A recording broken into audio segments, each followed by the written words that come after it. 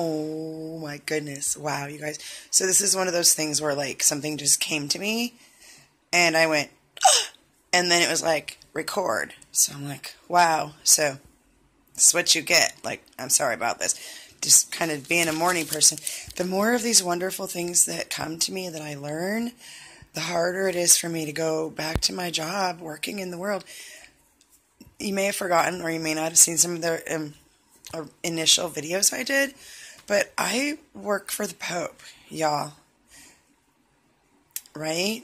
Okay, so um, I work in the field with families in crisis, providing support, counseling, and crisis intervention and life altering techniques for them to get where they want to be. And I'm in the midst of, y'all, there's some stuff that families are dealing with that is beyond comprehension of what some children are putting their parents through, what some parents are putting their children through, what children are putting other children through, what other grown-ups are subjecting other grown-ups to, what teachers are doing to students, what principals are doing to teachers. Oh, you guys, it's devastating. Devastating. And I am mucking around in it all day, every day, right? And the paycheck is signed by the archdiocese reporting to the Pope. So my ability to dispense light and love and wisdom is limited by my ability to be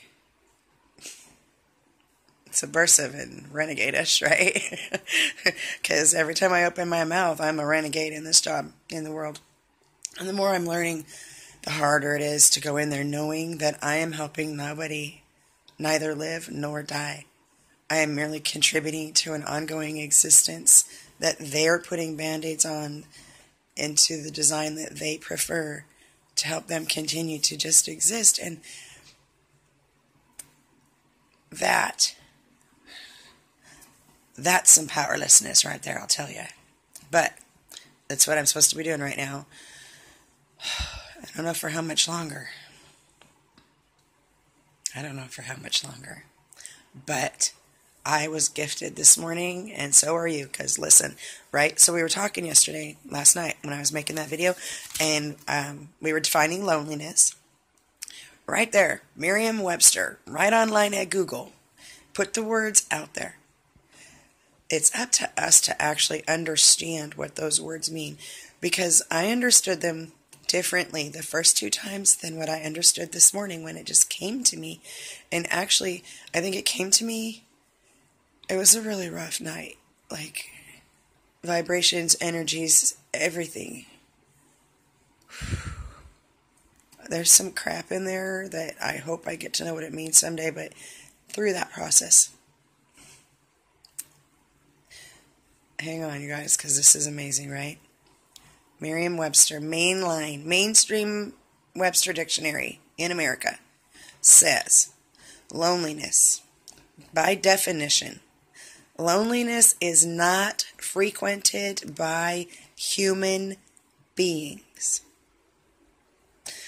Let's visit human beings for a minute, shall we? What is a human being? when I write the word human, because, you know, I have to use little tricks and stuff, right? So when I write the word human, I write capital H U dash capital M A N. And before the dash and after the U, in a tiny little subscript, I will put a little a parentheses, the letter E, and another parentheses. So it would actually look like Hue, H U E dash man, M A N, which we know would be light man.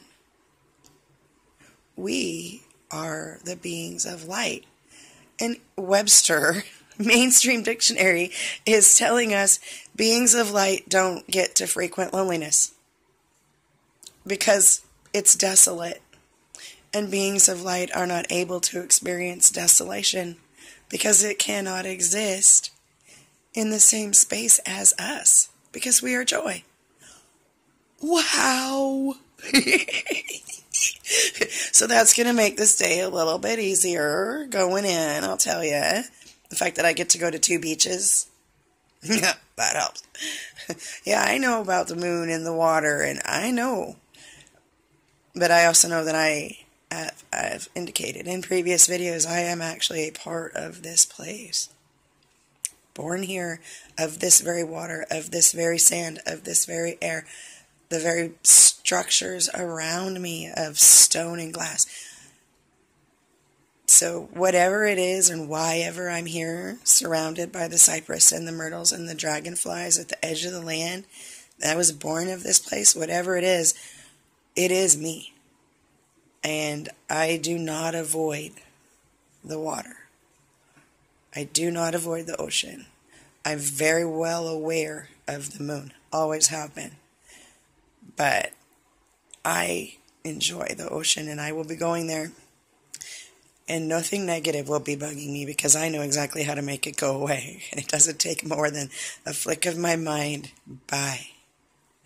So that'll help with this day. But let's just meditate on what that means. When you're meditating and you're you've lit your body up and you're in the higher frequency, that human, that light beating, in that state, is it even possible to feel loneliness or desolation or sorrow? Is it even possible to be disconsolate when you're ignited and, and, and lit up? So even that that truth was put right out there for us. We just have to understand the words we're reading. Loneliness is not frequented by human beings because it's desolate and it cannot coexist with us. Oh, you guys, this is awesome. And you know what? We also have another Antichrist that we've learned through this word discovery selfishness. Go back and figure out your selfishness definitions, right? See figure out which fruit of the Spirit would be not selfishness. Eventually, we'll talk about it. I know we will, but it's not for today. But figure that, see if you can figure that one out on your own. Just something to fill some time. I mean, we got plenty of time, and we got lots and lots of things to do. Emptiness is going to be an interesting one. I already know because it's in there it's just in there all simmering up and getting all gooey in my brain. It's another one I'm going to have to seek for that one. And uh, I'm learning that when I seek for something, pow! It's amazing.